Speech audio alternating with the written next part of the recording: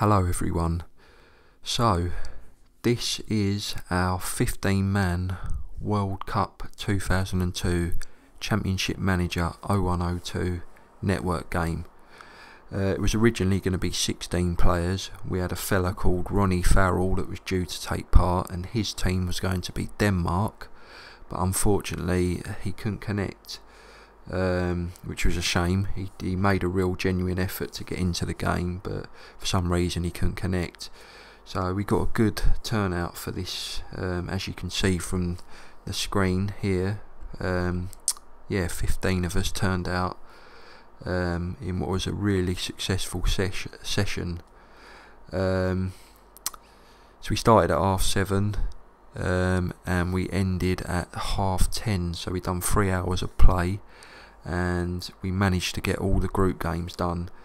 Um, so we've actually got the second session um, lined up for this coming Thursday at 7:30 p.m. UK, where we plan on getting the rest of the tournament finished, all the knockout games. So I'm just going to give you a recap of how it went. Um, so yeah, you can see here these are the players that took part. Um, yeah, brilliant turnout for it let's show you how it went down. So this is Group A.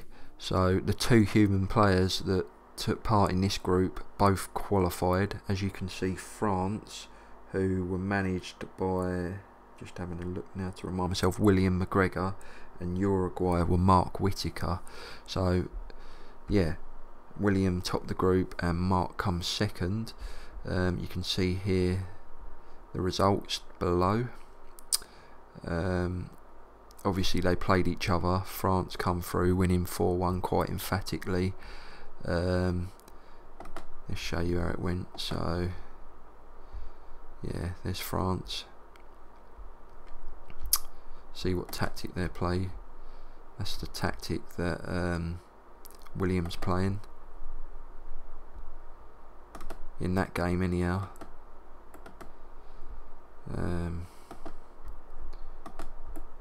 there we go. Mark's playing that tactic, bit of a funky looking tactic. There we go.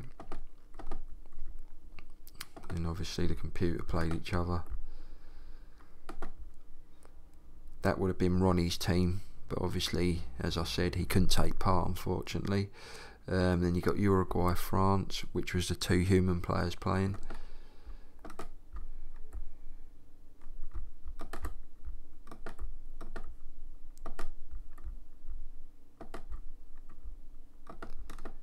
There we go. Then France beat Denmark. He changed his tactic up a little bit there, as you can see. Went for three up top. And then to conclude the group was obviously Mark's last game against Senegal. Playing like that. So yeah, that was Group A. Let's have a look at Group B. So this was quite a shock. Um, so you had Alex Gordon, who was managing Spain. He was the only human player in this group, and quite surprisingly, after a good start, he finished bottom. Finished bottom of the group. I mean, the group was quite evenly poised. Anyone could have got out of it really. So it went to the last game. But yeah, Alex he, he lost his last two games, two one in both of them, and ended up getting eliminated early. So you had the two computer teams playing there. That was Alex's first game. Won that pretty emphatically. That was his setup.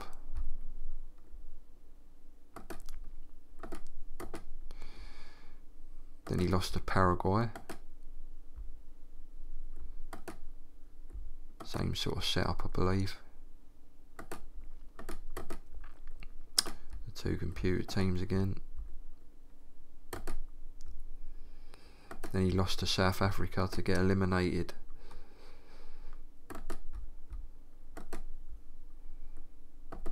There we go. And that was the last game.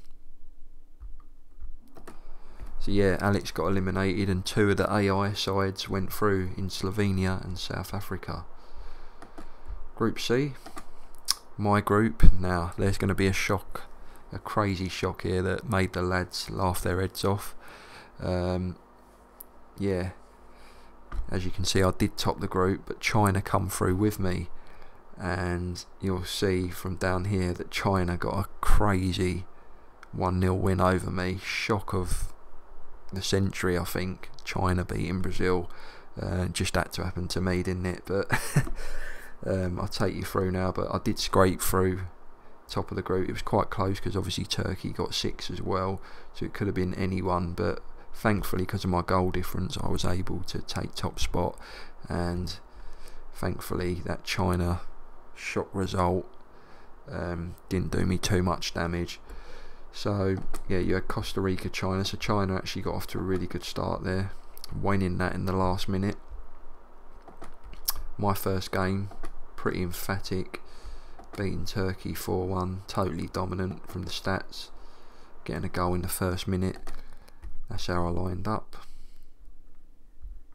That was my tactic. How I set the team up. Obviously, you can't view player instructions um, but each manager will tweak their own. Um, and then the China loss, the keeper had a worldie to be fair. Most of their defence did as well. Um, as you can see, I dominated the game. It was a bit of a champ man result. The ones where you dominate and then end up losing. but look, they beat me, um, and they had a sending off as well. I had to remind myself there, they actually had a man sent off as well. So yeah, 1 0 uh, loss there. That was my setup again. Went with the same setup. yeah, so a shock loss there and put me under a bit of pressure. You had Turkey beating Costa Rica there, 3 1. And then I smashed Costa Rica myself, 6 1. Got some revenge. I think I took out that frustration of losing to China on Costa Rica there. Had a lot of shots as you can see, a lot of passes completed. Um, absolutely dominated that game.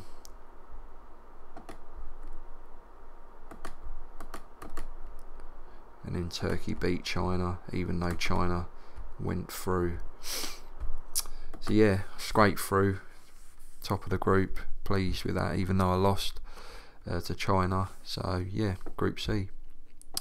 Group D, you had two more human players here. Uh, so you had Stuart Denton with Portugal.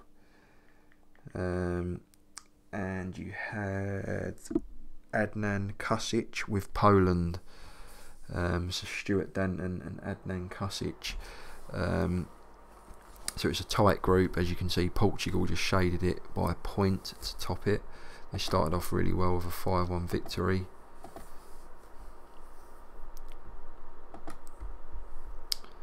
Nice little setup there.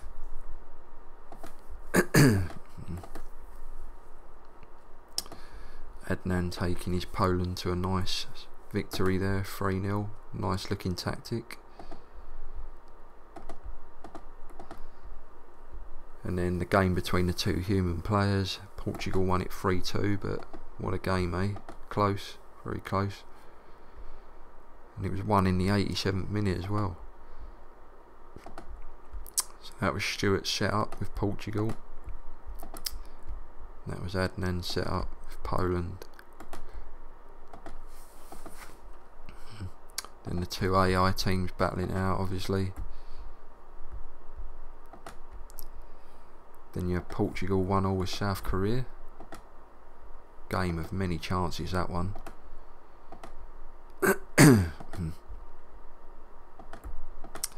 And then to conclude it, Adnan gets a nice 2-1 victory over USA. It was going to be riding on that game. He gets a 2-1 win there. Lovely to take him through to the next round. And with a sending off as well. Fair play. So that's Group D. So the only human player that's been eliminated at the minute is Alex. All the rest of us have made it through, as you can see. Obviously, the human players are the ones in yellow. So Alex, the only one eliminated at the minute. Group E. Now, you can see Germany was managed by Carl Rhodes, and of course, he put himself through the ringer here with some of these results. Look, every game he played was 3 2. every single game. Um, crazy, crazy there. He's managed to get through in second, fair play, but he made hard work of it, that's for sure. Uh, so you had Cameroon and Ireland, two AI teams starting off there. Then obviously Cole's first game against the Saudi Arabians. Close game as you can see. Carsten Jancker coming to the rescue. That was his setup. That was his team instructions. Very close game that one. And the AI teams again.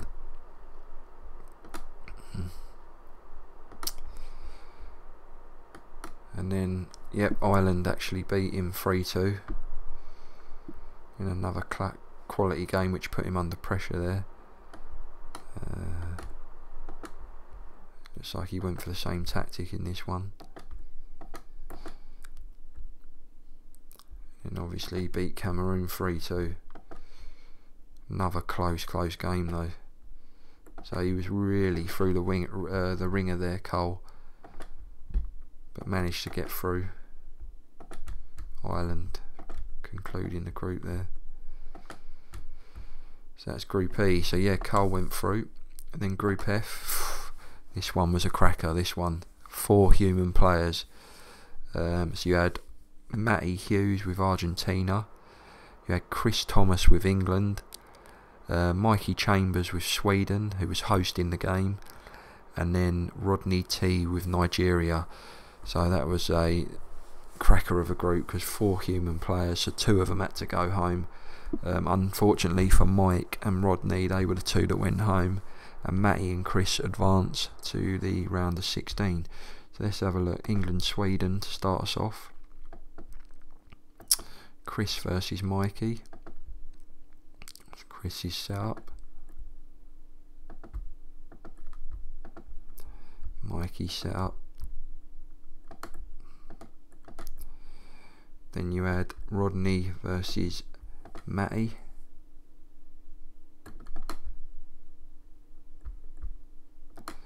I mean, fair play. Rodney went for it. Played attacking. A nice little 4-3-3 there from Matty. Then you had Mikey versus Rodney. Tough game that one. Mikey getting the victory to keep his hopes alive.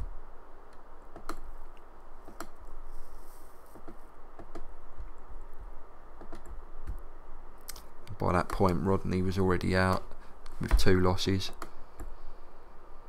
Then you had the grudge match Argentina v England, Matty versus Chris, which meant that it would go to the last game to see who would qualify out of England and Sweden.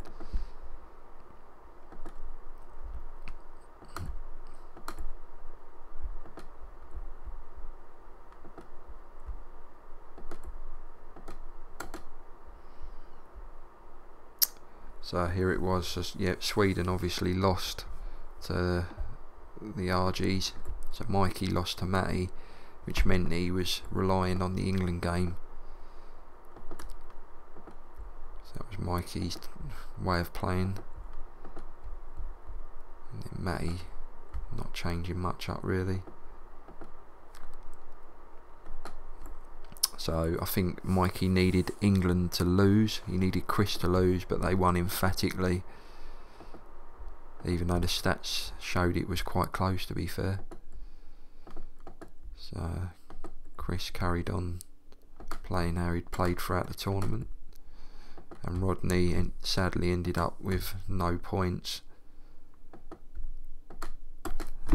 And that was con that concluded the group there.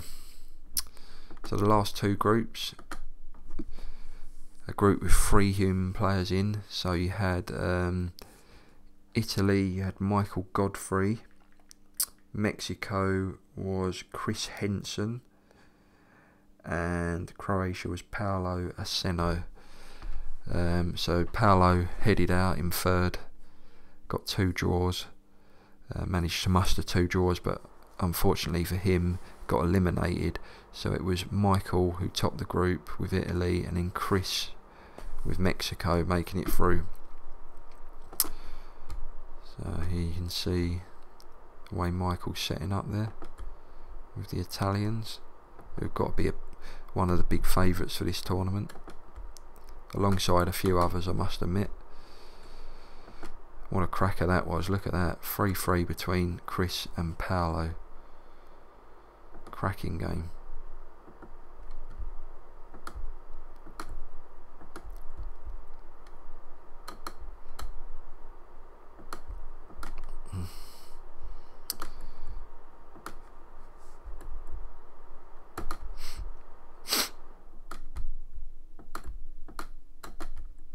Uh, two other human players playing again in Croatia and Italy. Very tight. Look at that, he went to defend for it. But unfortunately Italy got an early goal and it made it difficult. He would then have to come out and get the equaliser. But it did show in the way he set up because I only had three on on uh, three shots on goal, none on target. So um, in Italy, Mexico. Pretty straightforward there for Italy.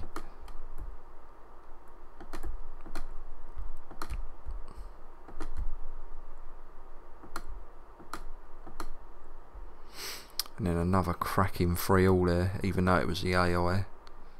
Uh, but it wasn't enough for Croatia to get through, unfortunately, for Paolo.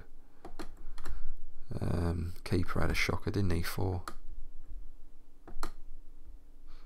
yeah, they equalised on the 88th minute. What heartbreak! I think they might have had a good chance of getting through then, otherwise.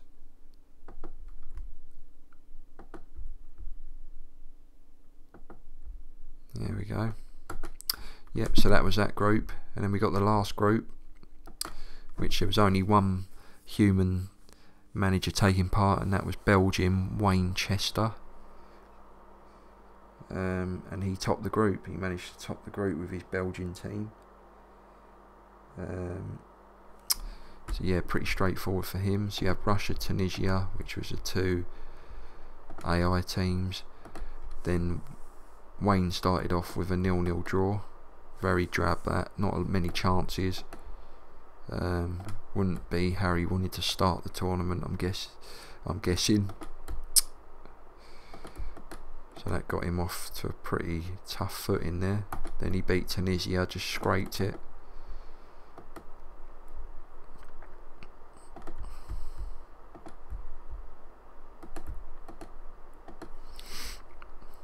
And two AI teams again. Two AI teams. And then a 1-0 win to conclude the group for Wayne. Deserved as well judging by the amount of shots he had.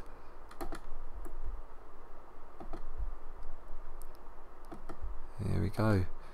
So that was everything we got done in that three hour session. We got all the group games done um, as I said 15 of us turned up which was a fantastic turnout could have been 16 because Ronnie with his Denmark team um, yeah, he turned up, but he just couldn't get on. So we nearly had the full house, um, but unfortunately for Ronnie, he couldn't get on. Um, let's see where Denmark come actually.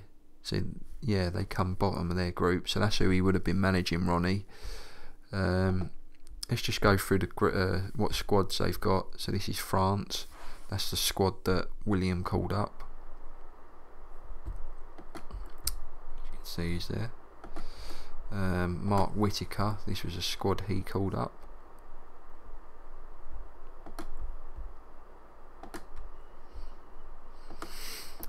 Um, this was Alex Gordon's squad, his Spain team.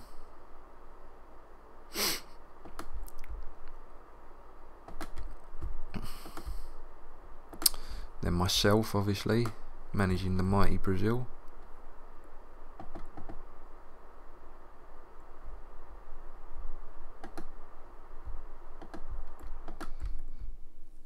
There we go. Portugal, Stuart Danton.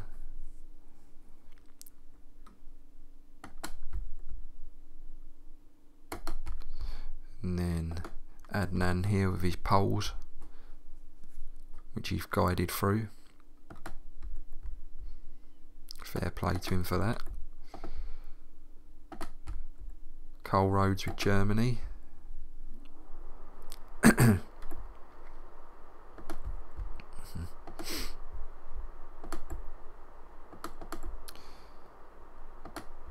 then the four human players here. So Matty Hughes is Argentina.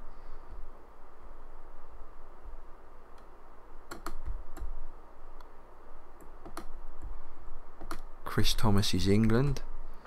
A few shock names in there. Jody Craddock. Lee Bowyer. Oh. Cool. Ehiogu.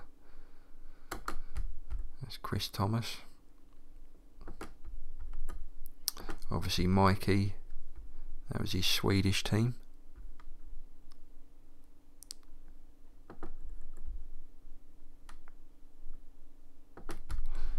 Then you have Rodney T with his Nigerians.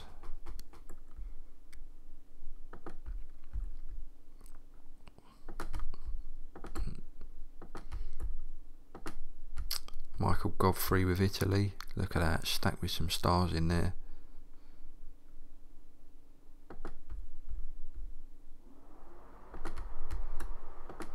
Chris Henson with Mexico. Blanco, eh? What a player.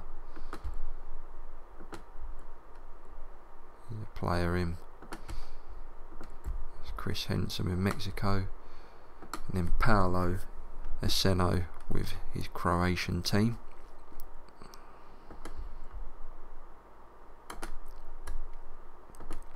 Then last but not least, Wayne Chester with Belgium. So let's get to the exciting bit now. So as I said, Thursday, this Thursday, 7:30 p p.m. UK time, we're hoping to conclude the rest of the tournament, and this is what we've got in store for you. That's the second round. So you got William McGregor's France taking on an AI controlled South Africa. You've got Stuart Danton taking on My Conquerors, China, a team that should be nowhere near the second round but have found themselves through. So that'll be an interesting one. Then you've got a grudge match in an AI controlled Ireland versus Chris Thomas's England. Then you've got a human match here. Um, Battle of the Managers. You've got uh, Wayne Chester's Belgi- Belgium against Chris Henson's Mexico. So that'll be a real, um, real tasty one. That one. Then you've got AI controlled Slovenia versus Mark Whitaker's Uruguay. Obviously, my Brazil versus Adnan's Poland. That'll be an interesting one. And then you've got Matty Hughes is Argentina versus Cole Rhodes Germany. A real heavyweight clash that one are pretty much definitely, not even arguably, definitely the title around that one because the big boys going home. And then you got Michael Godfrey's Italy against AI Control Russia. So very very interesting. Um, so yeah, we look forward to getting this played out and hopefully played out to a finish on Thursday night. Um, so yeah, hope you enjoyed the recap video. Uh, hope to see you for the recap of the knockouts. Thank you.